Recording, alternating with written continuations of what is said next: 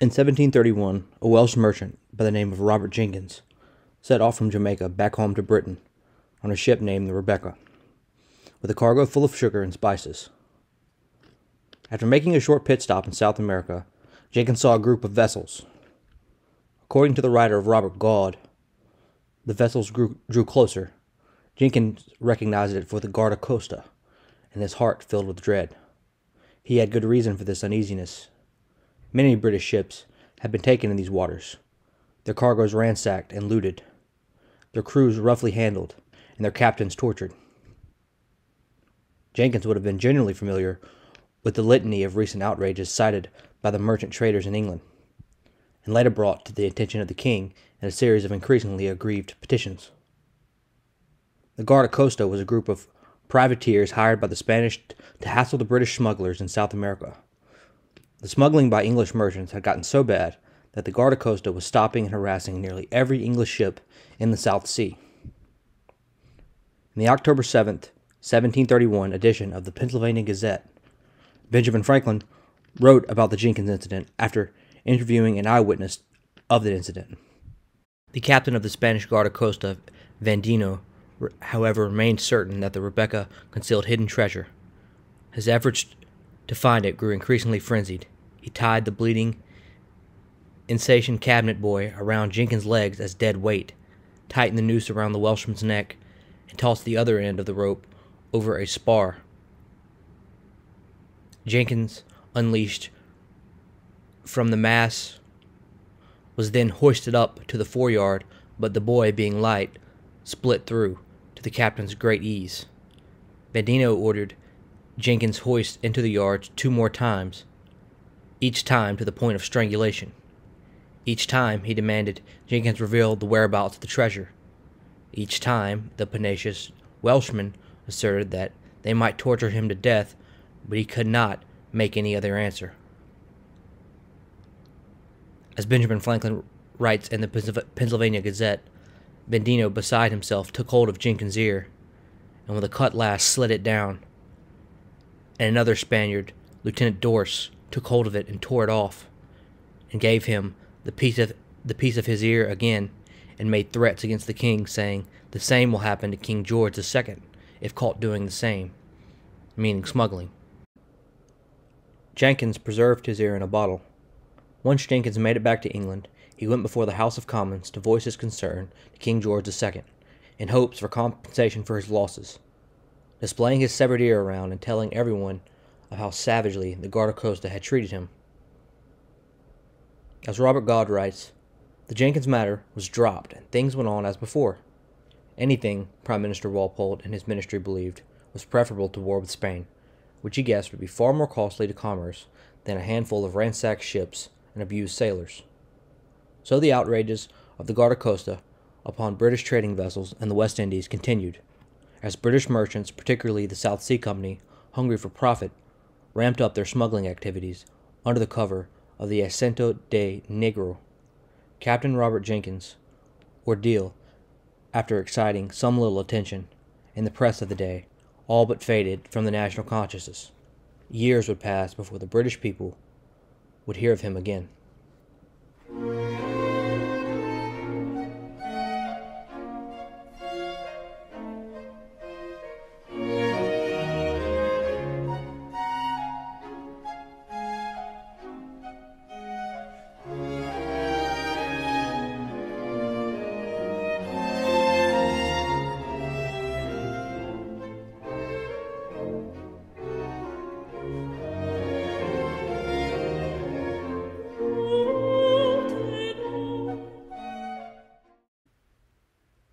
In 1713, the Emperor of the Holy Roman Empire, Charles VI, issued the Pragmatic Sanction. Having no male heirs, this Pragmatic Sanction proclaimed the indivisibility of the family lands and made it possible that if no male, male heirs were available, the lands would pass to a female member of the Habsburg family. In 1717, Charles VI's daughter, Maria Theresa, was born. The Pragmatic Sanction made it possible for Maria Theresa to inherit all the Habsburg lands in Central Europe. Among the rulers who declared to abide by this decision was Frederick William I of Prussia. but only in return for the Habsburg recognition of Prussian claims to the Rhenish duchies of Jülich and Berg. But unfortunately, the Habsburgs had made a similar promise to Saxony, and when the rulers of the Rhenish duchies died in 1738, Charles VI reneged on the promise. This was enough to make any king or ruler angry, much less the hot headed Frederick William of Prussia, who had done nothing to quarrel with the Habsburgs during his reign. On May 31st, 1740, Frederick William died, making his son Frederick II the new king of Prussia. Frederick II, or as he is currently known, Frederick the Great, was born in Berlin City Palace. He spent much of his early life reading and studying the great literature of the day. Frederick was born to a Hanoverian mother and the daughter of George I, Sophia Dorothea, and his father, King Frederick William. We will discuss the early life of Frederick the Great in a special biography episode, which will be released soon.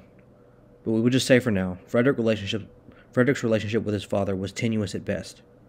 Frederick William was a strongly devout Christian, bullish, somewhat ignorant of political knowledge, and loved hunting and the outdoors.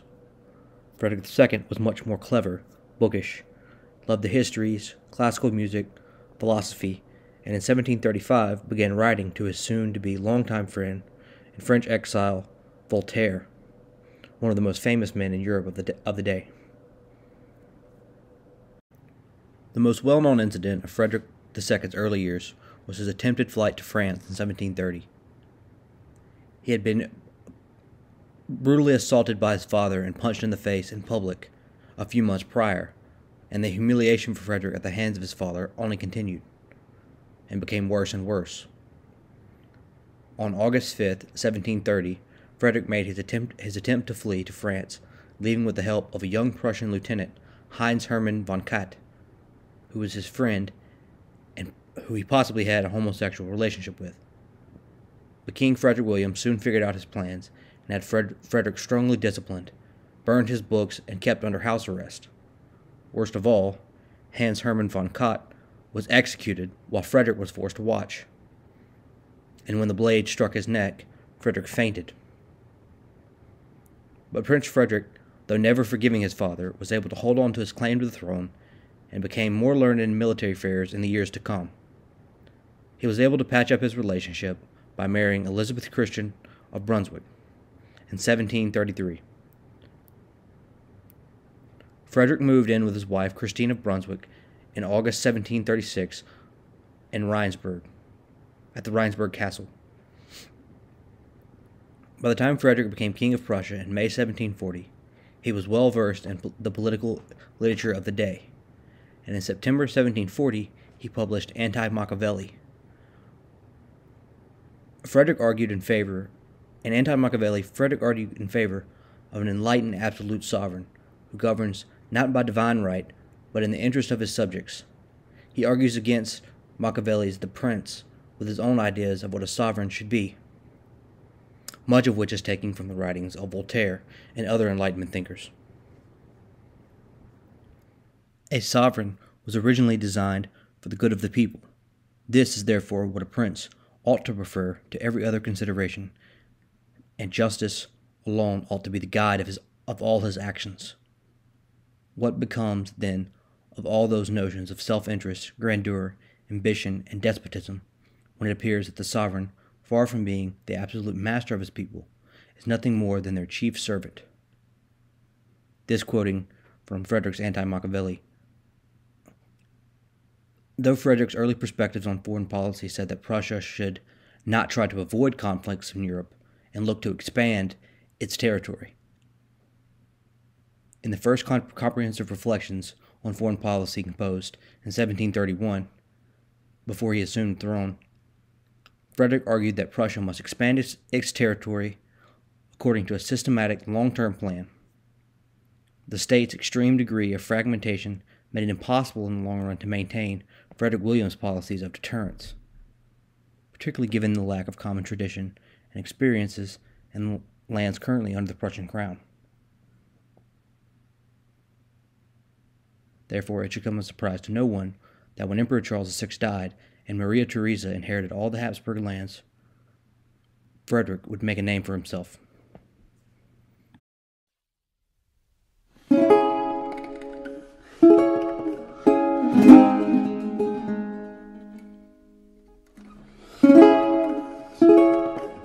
By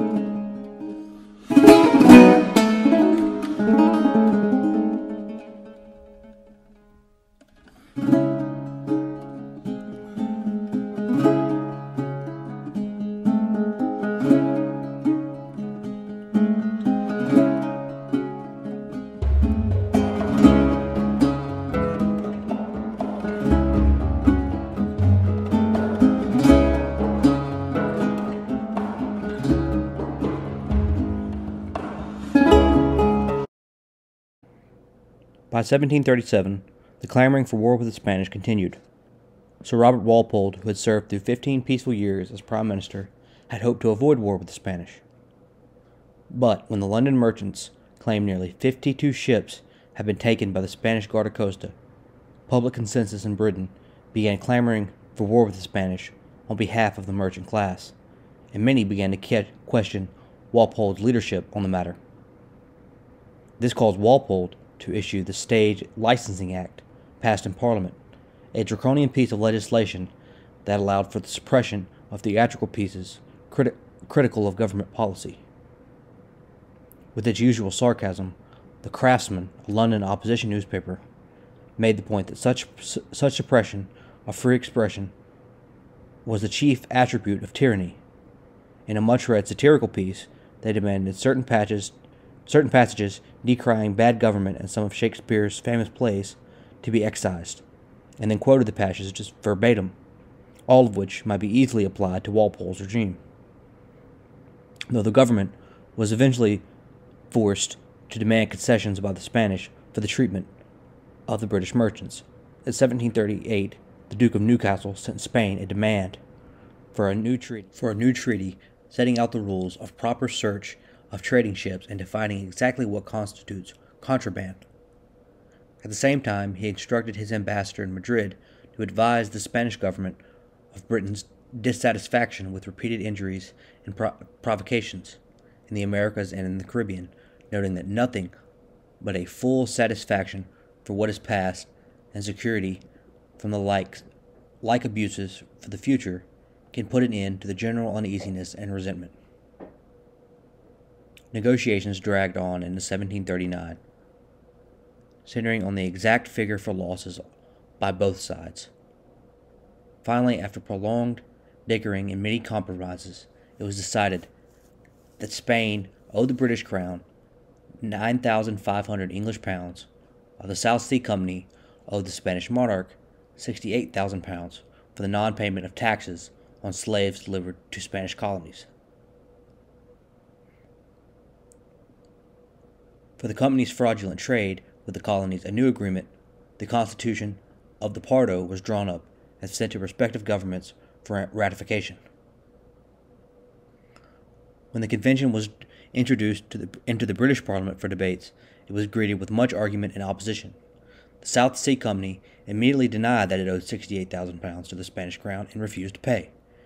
It was decided that everything relating to the company should be taken from the convention and looked at as a separate issue.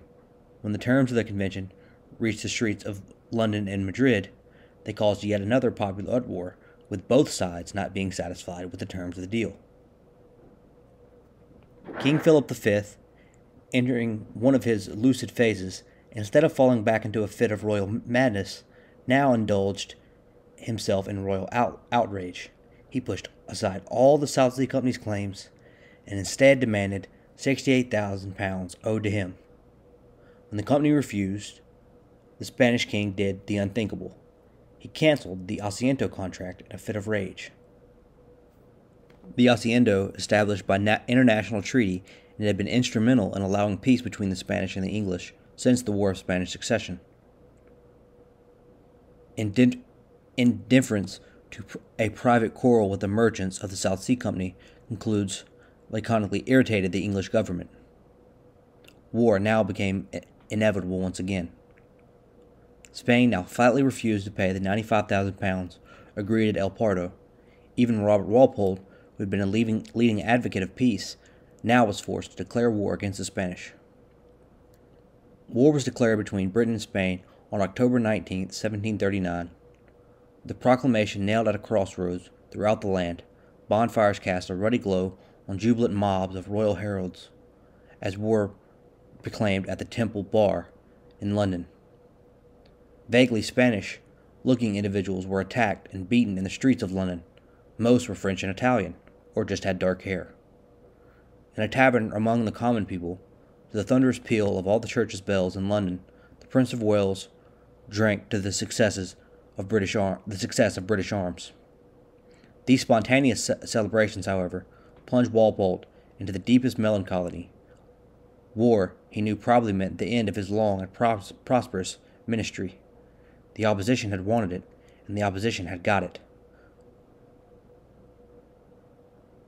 He had ruled the nation with a skillful combination of corruption, common sense, and tyranny since the South Sea bubble collapse, and she had recovered from that fiasco and prospered. All of that was now finished. The first major battle of the conflict came in Panama at Portobello. The British Admiralty, under the leadership of Sir Edward Vernon, appeared off the coast of Panama on November 20th, 1739. Portobello's defenses were weak, and Vernon besieged them for just a day before the Spanish garrison surrendered. Vernon's force then occupied the town for three weeks, destroying the fortress, the port, warehouses, and other key buildings. In essence, ending the settlement's function as a maritime base and severely damaging its economy. Admiral Vernon's, Admiral Vernon's victory at Port- Portobello was well received in London. He was briefly one of the most celebrated military leaders in Europe. This prompted the creation of the Vernon, which still around to this day. The Vernon, of course, are coins uh, printed with Admiral Vernon's face on it. Uh, they're still around to this day and worth nearly three thousand in today's currency, three thousand dollars, American dollars, that is. In 1740, James Oglethorpe, who was the founder of the colony of Georgia, moved south to fight the Spanish after orders from King George II. Oglethorpe secured an alliance from the Creek Indians and the Yamacraw Indians to assist, to assist the military invasion of Spanish Florida. Accounts vary as to the composition and strength of Oglethorpe's army as it left Georgia for the invasion of Florida in late May 1740. Some historians say Oglethorpe commanded, in addition to his own regiment of roughly 600 regulars and about a thousand South Carolina militiamen, both mounted and afoot, under Colonel Van Dusen and perhaps 200 Creek Indians. Others say that the Creeks sent a thousand braves to assist Oglethorpe in his siege of the Spanish fortress. Thus, estimates of his full strength vary from around 900 to 2,000. Oglethorpe deployed his batteries on the island of Sa- Santa Anastasia while a British naval squadron blockaded the port. On June 24th, Oglethorpe began a 27 day bombardment. On June 26th, a sortie by 300 Spanish and free black free blacks attacked Fort Moose by 120 Highland Rangers and 30 Indians. In the siege of Fort Moose, the garrison was taken by surprise with 68 killed, 34 captured, while Spanish losses was around 10 or so killed. The Spanish managed to send supply ships through the Royal Navy blockade, and any, any hope of starving St. Augustine into capitulation was lost. Oglethorpe now planned to storm the fortress by land while the Navy ships attacked Spanish ships and half galleys in the harbor. Commodore Pierce, however, resolved to forego the attack during hurricane season. Oglethorpe gave up the siege and returned to Georgia, abandoning his artillery during his withdrawal. Thus far, the early engagements of the war had not gone well for the British outside of Admiral Vernon's victory at Portobello, but events in Europe would expand the war and bring other European states into the conflict in the Americas.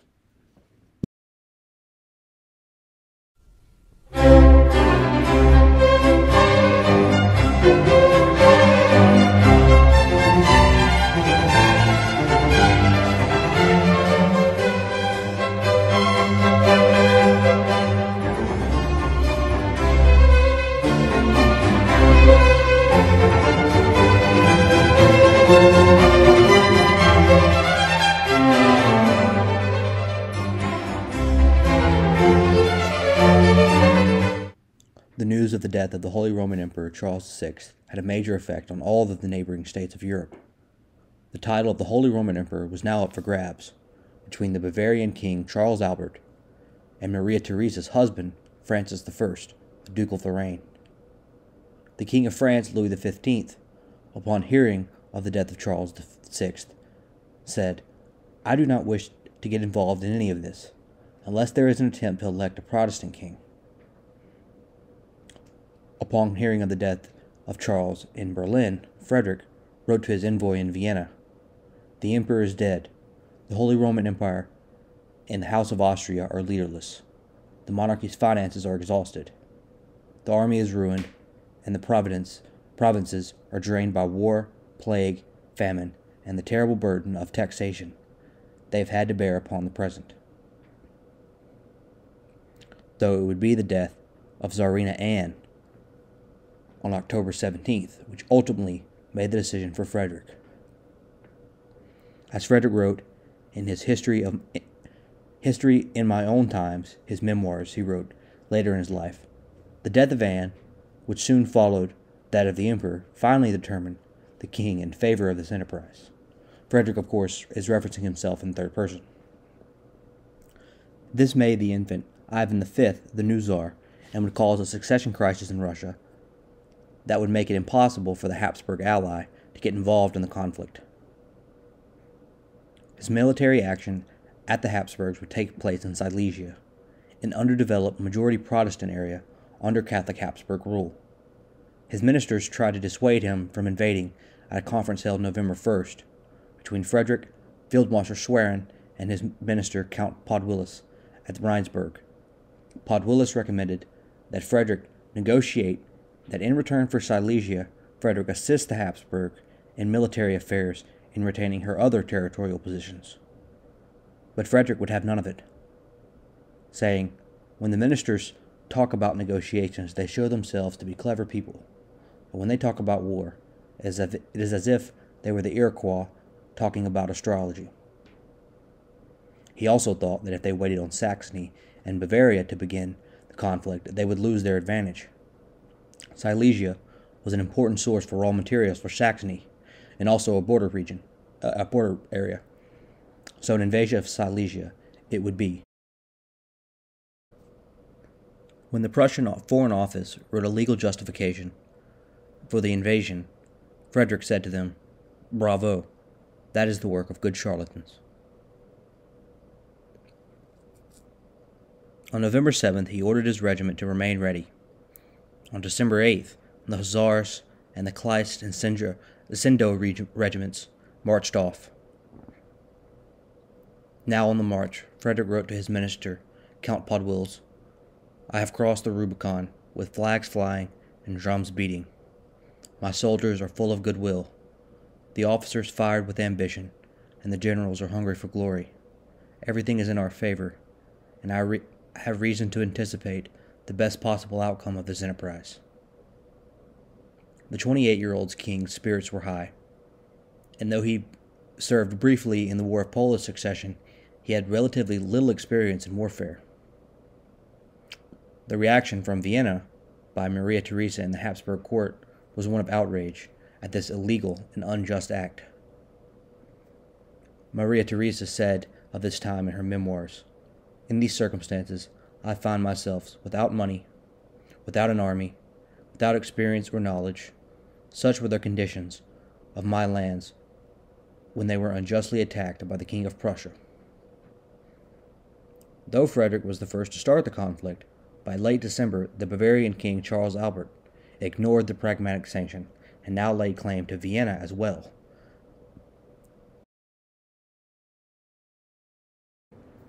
Prussian army was divided into two columns, with Frederick leading the easterly route along the Oder Valley and Count Schwerin leading the westernly army. Frederick marched through the Silesian capital of Breslau in January 1741. By March, Austrian light troops were already beginning to harass Prussian outposts.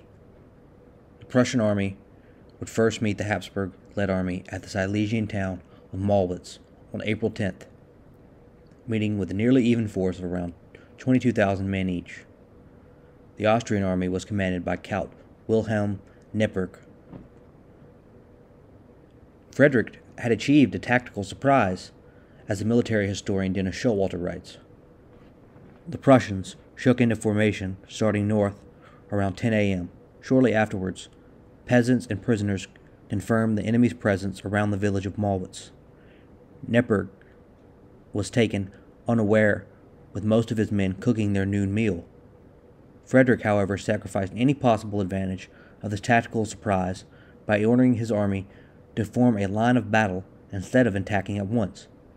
The Prussian deployment took over 90 minutes the five columns in which the army had marched were required to turn right, turn at right angles, and to form two separate lines of battle. On the drill field, it was routine. In the face of the enemy, however, with the de- depth and space perceptions confused by flat ground, sunlight glaring off the snow, and simple nervous tension, things went less than well. Several units could not be precisely fitted into the fighting lines, and for a while stood forlorn. Frederick's inexperience had squandered the advantage. The King of Prussia stiffened his cavalry by putting battalions of grenadiers at intervals along their lines in the style of Gustavus Adolphus a century earlier. But Roemer's Austrian forces enveloped the Prussian flanks. The far right of the Prussian line was held by dragoons regiments that were poorly commanded. In this savage fighting on the right flank, both officers, Roemer from the Austrian army and Schulenburg from the Prussian army, died in the battle.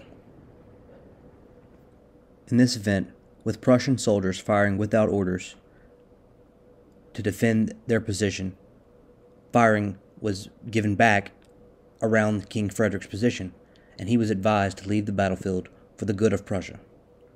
It was now under the control of Schwerin, who now achieved numerical superiority. An Austrian officer would later write of his experience at the Battle of Mollwitz. The enemy's army now advancing from all sides as they enjoy a numerical superiority of 3,000 men, and there was a strong reserve corps situated between the two lines. They overlapped us on both, both flanks, and I can safely say, never in my life did I see anything finer. Our army became deeply demoralized. Our infantry could no longer be kept together in their ranks, and our cavalry no longer wished to form up against the enemy. By five o'clock, Neipperg ordered a retreat, and it was the Prussian officer Schwerin who emerged victorious from the battlefield. Frederick was not informed of his good luck until the morning. He spent the night wandering around the Silesian countryside, searching for a safe haven. He wrote of his time in Mollwitz. Mollwitz educated the king and his army. Speaking of himself in third person, of course. In May, the Prussians sent another envoy to Vienna to begin negotiations, but this was again de- rejected. On June 4th, Frederick formally allied Prussia with the French and Bavarian cause. This now triggered alliances across Europe in what would be known as the War of Austrian Succession, with France, Spain, Prussia, Saxony, Bavaria, and Sweden on one side, and with Britain, Austria, Hanover, and Russia on the other side. The Prussian military remained mostly still during the summer and autumn of 1741, besides recapturing the capital of Breslau. But the Franco Bavarian army conquered the Bohemian electorate after the siege of Prague. Now, Charles Albert was proclaimed the King of Bohemia. The Bavarian king now had enough votes to overthrow the Habsburg dominated Holy Roman Emperor. The title for the first time since the late 1400s, and this would make Charles Albert the Holy Roman Emperor. Maria Theresa, upon hearing the news of the Bohemian conquest, wept, now forced to swallow her pride and negotiate a temporary peace with Frederick. But the negotiated peace would allow Frederick to capture Neisse if he would cease further military operations. In the autumn of 1741, Frederick wrote to Podewils, If there is an advantage from being honest, then that is what we should be. But if we have to deceive them, then let us be cheats. Frederick resumed military operations in the winter of 1741, as his allies needed him more than ever. The supply lines into Saxony, Brandenburg, and even Silesia were long enough and vulnerable enough that Frederick's expeditionary force was constrained to live more and more from the land. Under the best circumstances, that meant hunger. Given the season of the year, it meant famine. By early spring, Moravian peasants were joining uniformed Austrians in an increasingly wearing guerrilla warfare struggle against Frederick's garrisons, towns, and outposts. Frederick soon realized that he was the target of a Habsburg attack, and Charles of Lorraine was sent a large resupply of Austrian reinforcements to attack Frederick in Bohemia. Frederick dealt with bad intelligence which caused delays in his army. Frederick II met the Austrian army at Chotuwitz in Bohemia on May 10, 1742. The Prussian cavalry was commanded on the right by General Baden- Buddenbrock. It was on the left flank and commanded by Prince Leopold. Leopold's left wing of the Prussian foot had initially deployed in the open country west of, Scha- of Chotuwitz, then advanced in an effort to hold the village itself.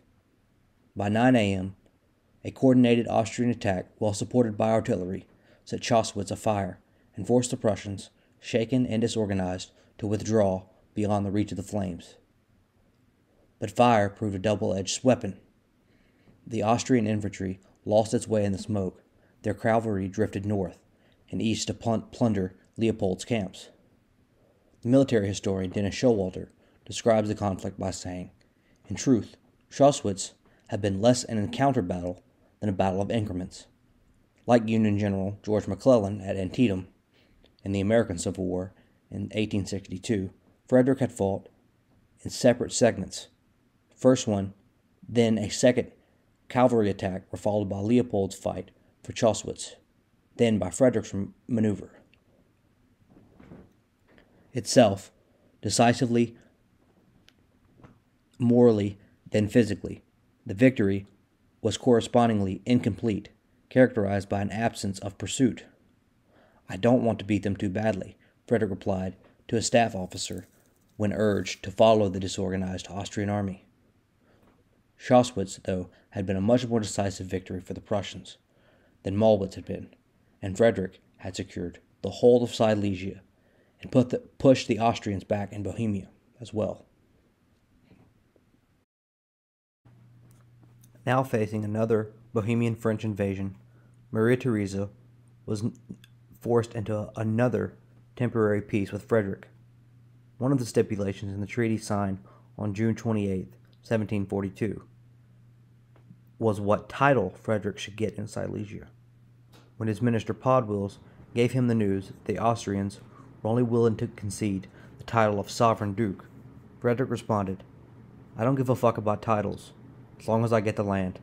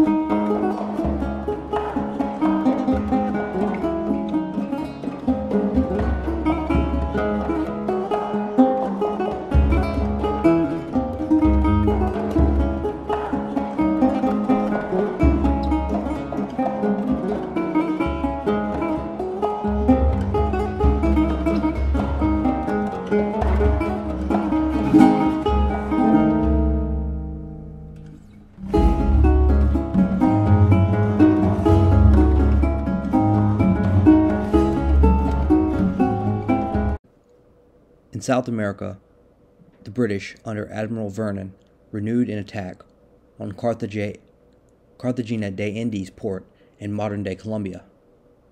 In 1740, it was the first time an American colonial army was to participate in the British colonial wars. It was also the brother of George Washington, Lawrence, who served in the conflict under Admiral Vernon. This would, of course, lead to the naming of his inherited home to be called Mount Vernon, who Lawrence credited with saving his life in South America. A quote from the British officers describes the attitudes towards the American troops. From the first sight of the American troops, they were despised. Raw, new raised, undisciplined men, mostly Irish, suspected papists. Their officers worse blacksmiths, tailors, barbers, shoemakers, and all the banditry the colonies afforded. This, of course, led to mistreatment of American colonial forces.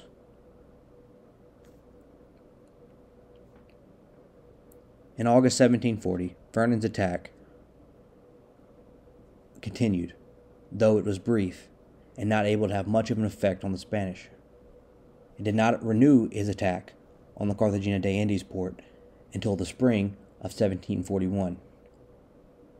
This was a particularly savage attack when Vernon's expedition arrived off the Cartagena de Indias on March 4, 1741. Wentworth commanded the land forces, and Vernon commanded the sea forces.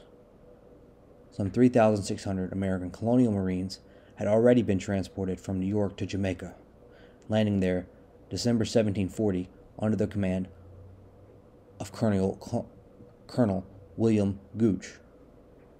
The Americans joined the expedition for the attack on Carthage- Carthagena. By this time, the Navy had lost so many sailors from epidemics that one third of the land force was needed to fill out the crews. Carthagena was a rich city of over 10,000 people and was strongly defended under the able command of Lezo and the Viceroy of New Granada, Sebastian de Eslava. It was fronted on one side by the ocean, but the, sho- the shore and surf were so rough that they precluded any attempt to approach the city from the sea. Access to the city was through two channels Boca Grande, which was too shallow for ocean going ships, and the Boca Chica, the only deep draft passage into the harbor. The passage ran between two narrow peninsulas and was defended on one side by Fort St. Louis, with four bastions having 49 cannons, three mortars, and a garrison of 300 soldiers. A boom stretched from the island of La Bamba to the southern peninsula, on which was located Fort St. Jose with 13 cannons and 150 soldiers. Also in support were six Spanish ships of the line. As Robert Gaudi writes, the British bombarded the Spanish forts for a week, then landed 300 grenadiers and artillery near the Boca Chica Channel. The Spanish defenders of two small nearby forts were driven off by the three ships of Chaloner Ogle's fleet, which suffered 120 killed and wounded. The ships were also damaged by cannon fire from Fort St. Louis. The grenadiers were followed ashore on March 22nd by the whole British land forces, two regular army regiments, and six regiments of Marines. Only 300 Americans went ashore. Most of the American troops had been dispersed to serve aboard ships of the line, replacing Vernon's lost sailors. After the army made camp, the Americans and Macheteros constructed a battery, and its 24 pound guns began battering the Fort St. Louis. A squadron of five ships attempted for two days to batter the fort into submission, but made no progress, sustaining more casualties. Three of the ships were heavily damaged and disabled. Of the British ships, that was. British artillery firing night and day for three days finally made a breach in the main fort. Some British ships engaged the Spanish ships, two of which were scuttled, and the other set on fire and captured. The two scuttled ships partly blocked the channel. On April 5th, the British attacked Fort St. Louis by land and sea, with infantry advancing on the main fort while the Spanish garrison retreated to inner fortifications. The following week, the British entered the harbor at Bogota, losing an additional 120 men and wounded, while a staggering 250 died from yellow fever and malaria, and, more, and 600 more were hospitalized from diseases. The attack on Cartagena de Indias port in South America had failed, and there was a higher success rate. The British undertook several other attacks in the Caribbean with very little success. In July, Vernon launched an invasion of, of Cuba, but he refused to land troops any closer to Santiago. The first objective, then, was Guantanamo Bay. The landing proved to be too far away, and the invasion was forced to be aborted. In January 1742, 3,000 troops arrived from England to replace the losses at Cartagena. Meanwhile, the Spanish attempted to seize the British colony of Georgia. Some 2,000 troops landed on St. Simon's Island, but James Oglethorpe and local forces defeated the invaders at Bloody Marsh and Gully Hole Creek and forced them to withdraw. The border clashes between Florida and Georgia continued for several years after after 1742, but there were no further major operations on the American mainland by either nation. The main fighting between the British and the Spanish now took place in the German provinces of Europe. The conflict in the Americas between the British and Spanish would go on to later be called the War of Jenkins' Ear.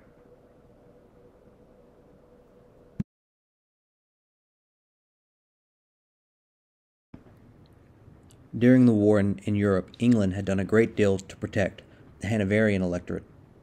This displayed a difference between the motivations of the British people and the Hanoverian dynasty.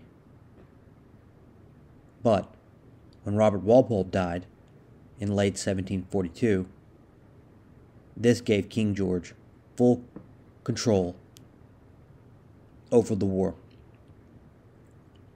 On June 19th, King George II arrived in Bavaria to take over command of the British Army. Although his personal bravery was never in question, George was no general and was soon outmaneuvered by the French.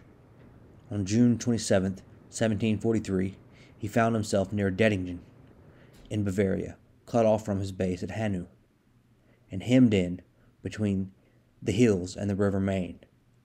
However, when the French infantry attacked, their troops were broken by the steady volley of the British infantry. Their rout was eventually completed by the British and Austrian cavalry. Although Stair wished to pursue the beaten French, the king decided to make safety in Hanau. The battle had little strategic impact on the war, but it demonstrated the fighting qualities of the British Army and the Pragmatic Army, as Britain and its allies were called. The Pragmatic Army was in no shape to pursue the freeing, the fleeing Franco-Bavarian army.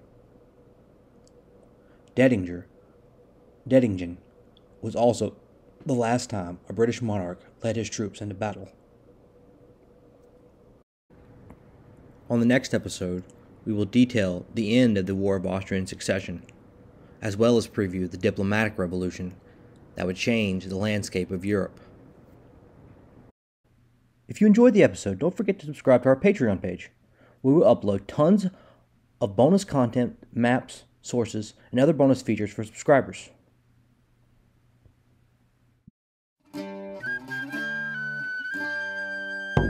Apprentice Tom may now refuse to wipe his scoundrel master's shoes.